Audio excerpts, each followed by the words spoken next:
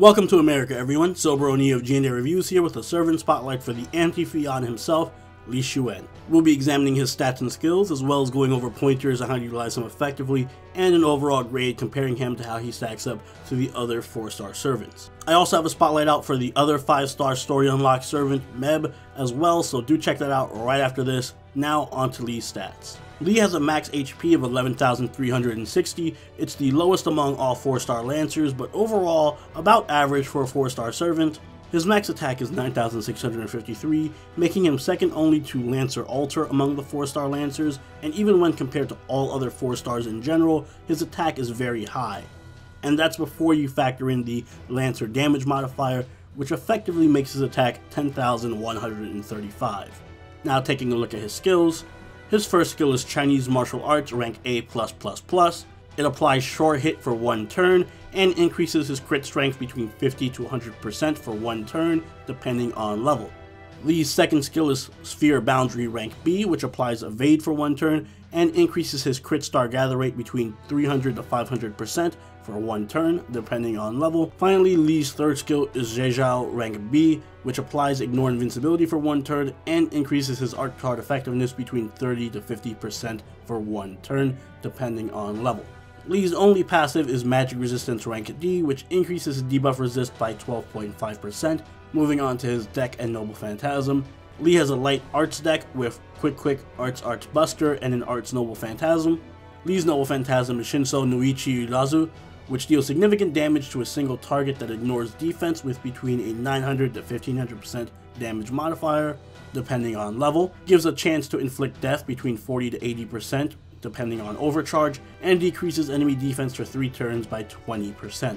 Taking a closer look at his cards, we see that his quick card hits 3 times, his arts card hits 3 times, his buster hits once, and his extra attack hits 5 times. His Noble Phantasm gain rate is 0.52%, and his star rate is 12.20%. Overall, that's above average star generating and decent Noble Phantasm gain for a Lancer due to the 3 hit arts and quick cards, as well as a 5 hit extra. Finally, he's here.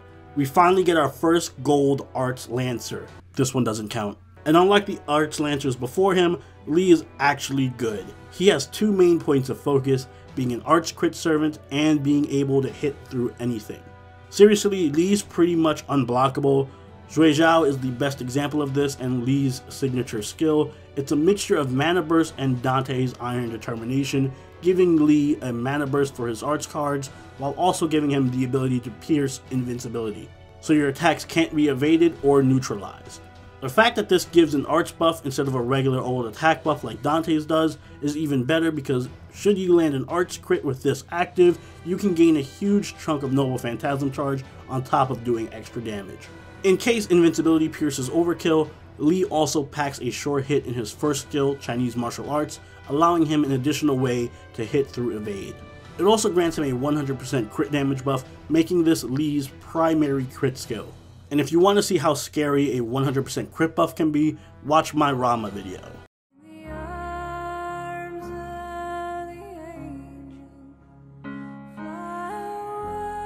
And finally, Li has defense covered with Sphere Boundary, which grants Evade and Crit Star Absorb. It may seem like the Sure Hit and Invincibility Pierce are redundant, but when you consider how many archers have an Evade, it'll come in handy more often than you think. For skill order, max Zhui Zhao first to maximize Noble Phantasm damage, followed by Chinese Martial Arts for crit damage, and finally Sphere Boundary. And just to cover all the bases, Li's Noble Phantasm also ignores defense, all in all, this means it's going to be impossible to avoid taking full damage from Li's Noble Phantasm, as neither evade, nor invincibility, nor defense stacking will work. On top of that, Li's Noble Phantasm is also a powerful single target attack.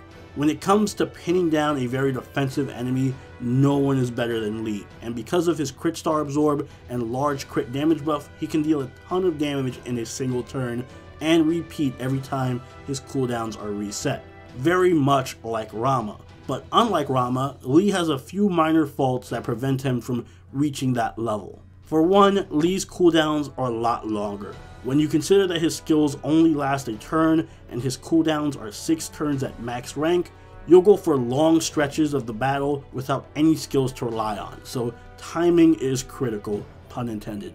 Speaking of which, Li's crit star absorb skill is tied to his evade, and that's another problem. You'll often be forced to choose whether you want to activate this skill offensively or defensively. And more often than not, you'll be forced into using this defensively to avoid an enemy Noble Phantasm, which leaves you with no surefire way of gathering crit stars, thus eliminating a large portion of your damage. Remember that as a Lancer, Li has pretty poor star weight, and the same is true in reverse.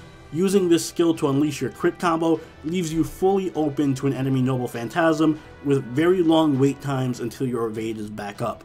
I should also note that while Li's star generating isn't bad, he doesn't produce enough to feed himself stars consistently, so you will likely need a star generating support. Naturally, that makes any arts crit star generator like Assassin Shiki, Mozart, and Tamamo a perfect match for Li, Tamamo in particular complements Li very strongly with her ability to lower cooldowns, so he can have more access to his evade and crit skills, and also because Fox Wedding is broken and when paired with Zhui Zhao, gives him a 2000 HP heal, a 100% arts buff, and the ability to pierce through evade and invincibility. Speaking of which, Hans, Waver, and Nero Bride are strong supports as well for buffing Li, while Medea Lily, George, and Mash are good options for keeping him alive if you're afraid you won't have your evade up when you need it. Li can also be a decent star generator himself for other crit servants like Nursery Rhyme if you give him a 2030 or another star drop boosting craft essence. Li's Bond craft essence is skill that rivals the gods, and it provides the party with a 15% arts buff.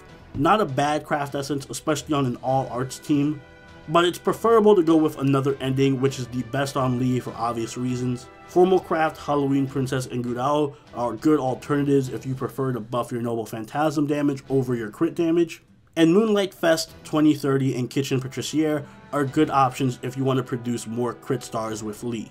Overall, Li is not only a good Arts Lancer, he's the best one and really the only one, as the other two options, Fionn and Benkei, don't fit well in any offensive teams. That alone gives Li a lot of value, but on top of that, he is a solid crit servant with a strong niche as an unblockable attacker.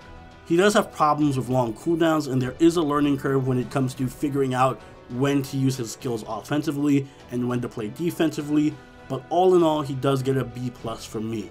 Lancers are a solid class, and Li is a solid addition to that class. If you're someone who uses arch teams a lot, then I highly recommend rolling for Li. He is one of the better offensive arts servants, and your best choice for an arts lancer. And those are my thoughts on Li. Now we just need his assassin version, and I'll be happy.